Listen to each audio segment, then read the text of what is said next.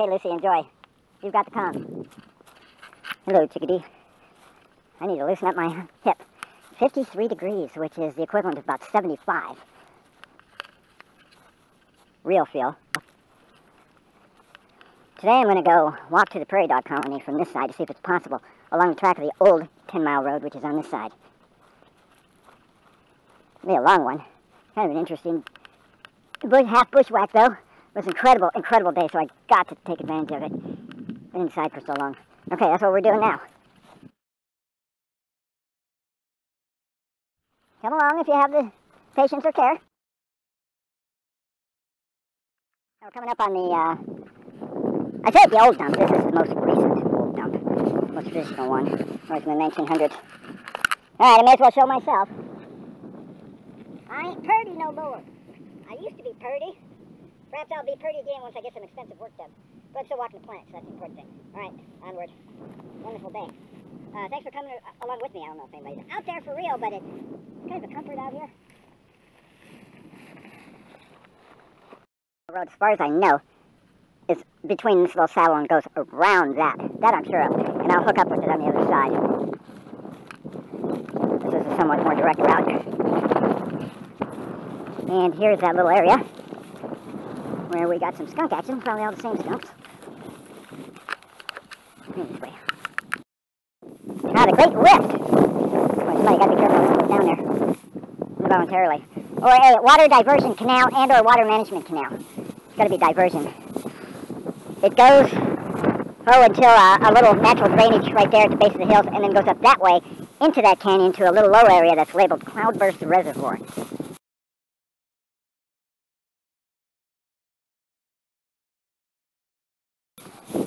So here we got more or less a game trail. That's all that's left of this old wagon track.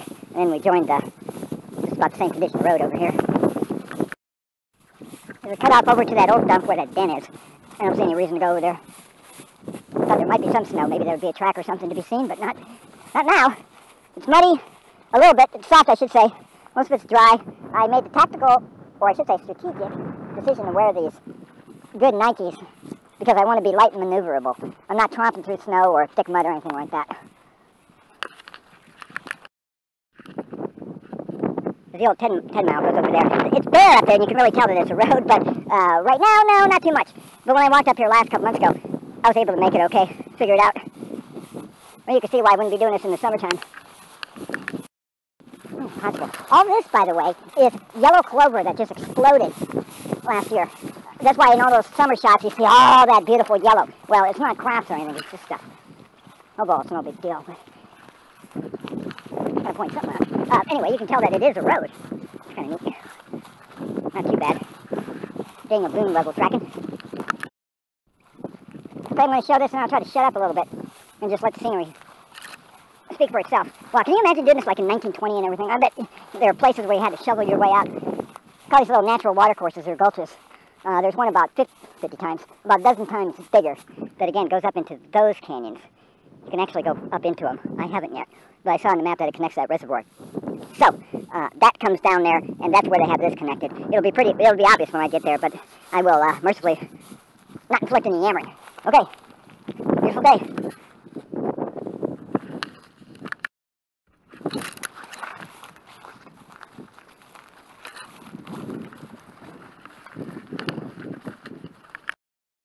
Sudden muddy patches. It's not stopping me or anything. Not even that deep. But man, I bet that would just stop a 1920s car. Oh yeah, right there is a mark. Let's see. It's marker for the National Forest, Custer National Forest. It's marking this line. This is buckshots. Croft over there, more buckshot. Canyons on the other side, Custer National Forest. Uh, this is all Custer National Forest. Perfect land, I say. Uh, but that, of course, is the rest of the private. That's why there's no way you can access this area with a remarkable elk population to hunt unless you backtrack for, mi- I mean, like six miles that way just to get to a legal crossing. Too bad. And for those of you who think there might be a utility corridor or a little trail, there's not. Every time I thought so, I got into really thick stuff. So I guess they were using this and just the lateral access. This, this, this, this, this. Okay, kind of losing it here, as I did last time. This still looks like two shadows of the path.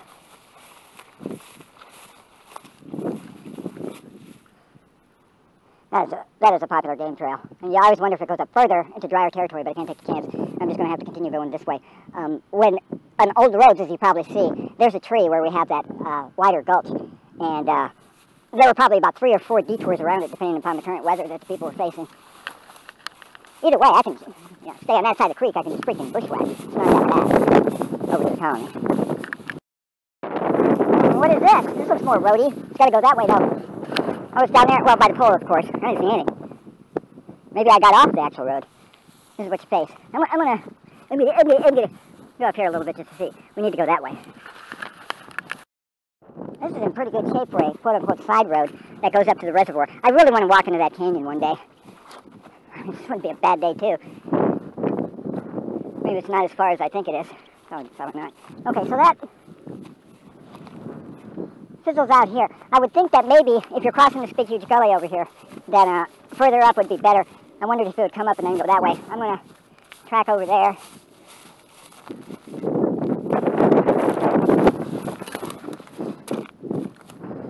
Well, that doesn't even look like it could go up to the reservoir. There's nothing over there. So where does this go? I bet it did go this way. No, there's a gate. Sorry. Alright, let's go this way anyway. I suspect this one's carried water down from that reservoir. This is a deeper I'm talking about. Here we're a little bit further up. Steeper and narrow, narrower. But I wonder if these are the remains of the road. I mean, that's steep and everything, but they might have come down there, might have come down there. And there's a shallower place over there. Okay, I'm just going to cross right here and then continue this way to Prairie Dog. Yikes, there's another one. I can go around it at this point. Okay, this is all new, all new to me from this uh, point. At least on this side of the valley. I do think the old road's way over here somewhere. Keep working this way.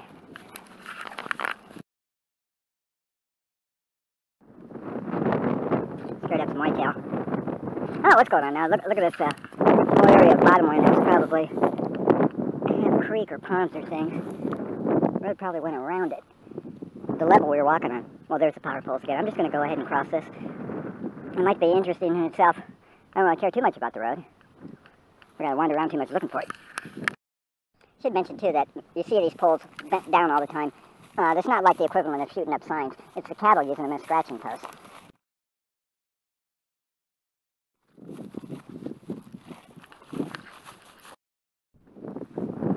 Free firewood. Good to see you, Tongue River Electric Co-op. This is sometimes some of the neatest exploration where you don't have a road. I would appreciate a trail, though. This looks vaguely familiar. When I was coming back from the uh, from the from colony the first time, I ended up following this, gravitating this way instead of following the road, which is way over there, and that was making me complain. Thus, a comment about get, getting in trouble if you assume that there's a little road. Here's one here. I think the colony's right here. I think I'm already there. Geez, that was like a stroll down to the corner store starting to look really familiar. It is. That was, that was only like 10 minutes longer than where I stopped turned around before. That is Coal Creek right there. I really overestimated that. Uh, it's on VGA, but there's a windmill, which means that the uh, colony's on that slope. I think I'm going to go over to the windmill, maybe place it at that one chattery colony right before. I'm going to go snoop around here. All right, very pleased. Let's see, uh, time device. I got my phone. Hold on. 12.58 now. I didn't plan on it, but I looked at the clock just as I'm leaving, and it was straight up 12 noon. So that was only an hour away by foot on my own terms. I like that. Of course, in good weather. Approach conditions. Got a little low in it right now, but got a pretty good breeze going that way.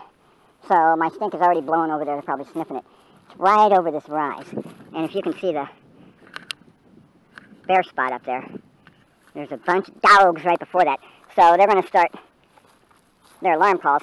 I will shut up and I'll kick it up to uh, the highest step I have. So look. Okay, here we go. We got one new seasoning. I know he sees me. See if I can get him in frame. What? There he is. Right in the center.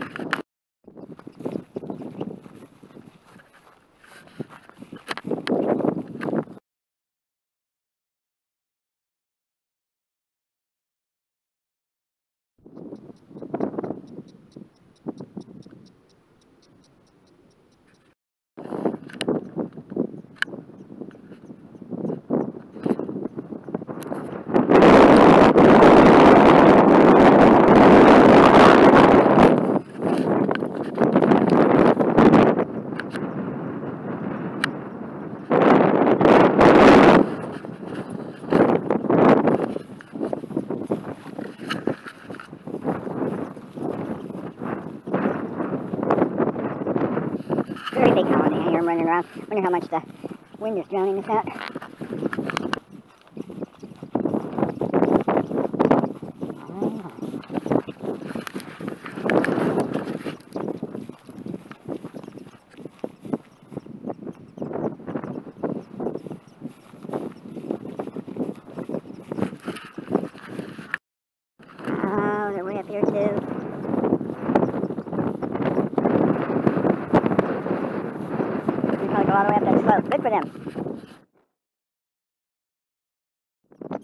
Only sneezed. That wasn't uh, that wasn't a challenge.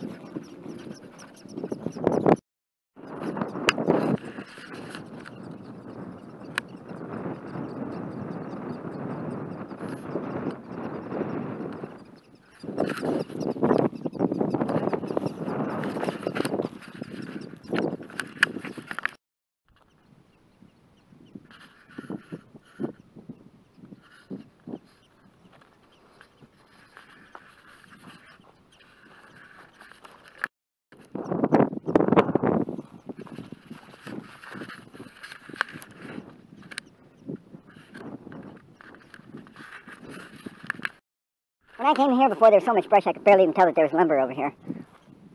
Oh, cool windmill. Last time I was here, it was like this breathing, you weren't going. And then suddenly, when I looked up, you moved. Was that a move for me? A salute? Recognition? Here I am again. And no.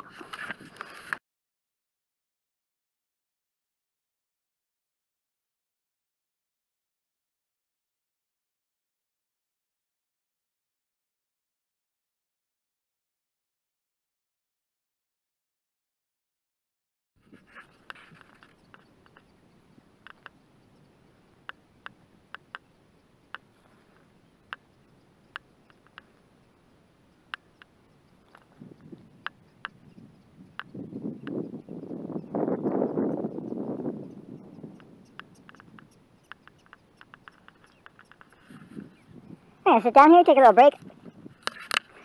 And then, because I'm way up here, there is a road I saw. I think it's just this wagon path here. Easier trail, more direct. On the other side of this ridge, it goes into uh, that area where that cloudburst reservoir is, which is really just a small depression in the ground. But uh, take a look at that. I am, uh, again, surprised I got here so fast. It would have been only about 40 minutes, too, but I was dinking around in backtracks and exploring little side things. I am pleased. Again, conditions are helpful to that. What is that? Ew, gross. Ew, gross. Ew, gross. Probably some kind of fungus. You guys are fine. I know there are cattle here. I don't know if this is working, that, that rock. I don't know anything about wells. I mean, it's connected, but it's obviously not pumping. And this is a decent breeze. This is like a, it's like a fried, frozen algae or something. It's like a old mattress I rotted away. And this kind of seems more than rainwater.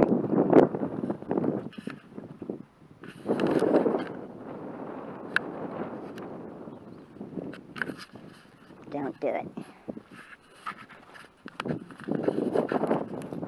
Don't do it.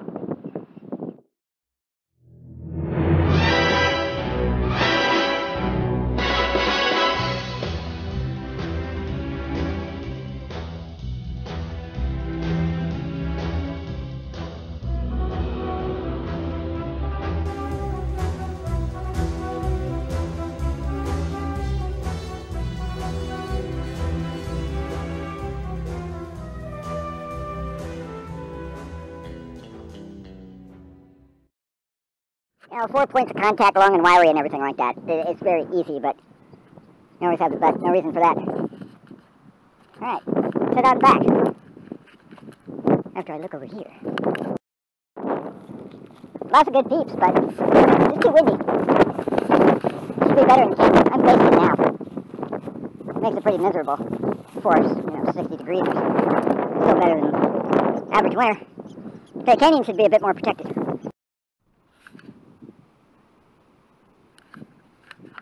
Prairie dog colony. There's that lower marshy area that I went into. This is the ridge before the valley. And this is that gulch that took the water from the so-called game trails or what, but they sure are pretty nice. Probably a few mice in here, rodents, voles.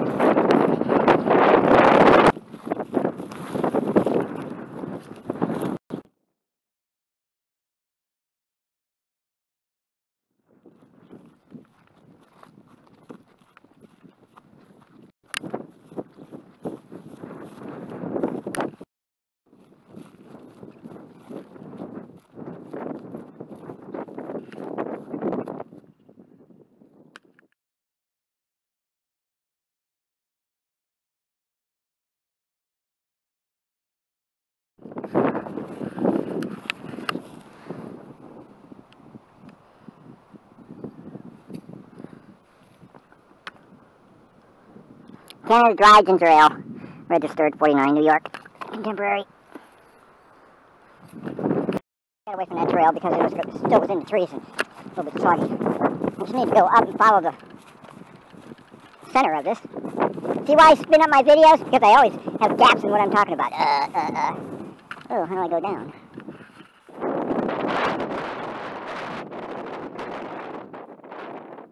Well, I'm going to pay for this in my hip, but it's really good for the exercise, even though it, uh, it hurts. Still good move. Go down the middle of this.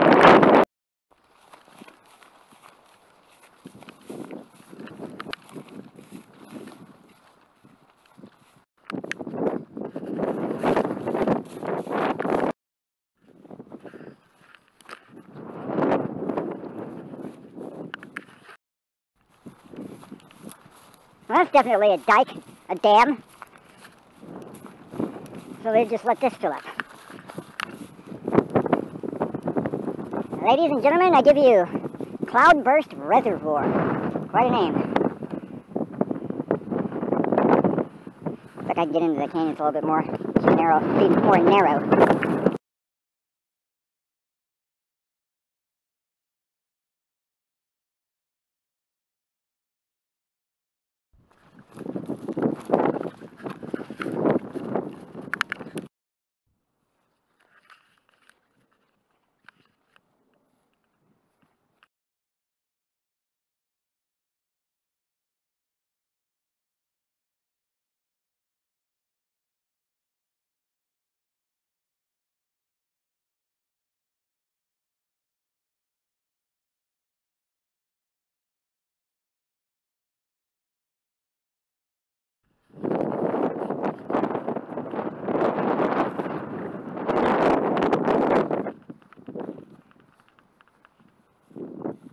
Let's just keep getting more narrow and uh, higher up. So turn back.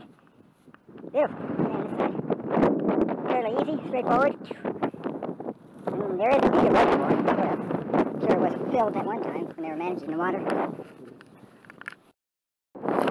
Now this is the extent of the penetration so far today, and thus far. Raising. That's cool. It'd be kind of nice to have a little gravity belt to just kind of fly over there and see it. I'm sure it turns on itself. Dead ends in a giant canyon, per usual. Very complex series of ridges and stuff on the map. Probably is a trail on the bottom. Looks like wildfire at one time, cleared that out. I can't be doing these mega hikes though. I should start on back. Glorious day.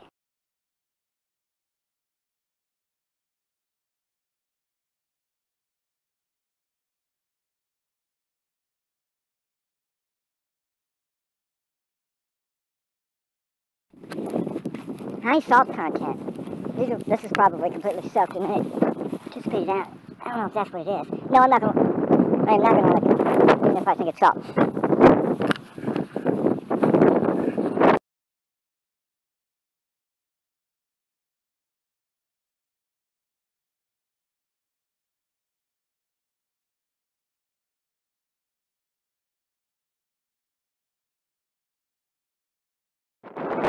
Images, footprints are come from this little uh, Badlands area that's mostly dry, but muddy. Good place for tracks.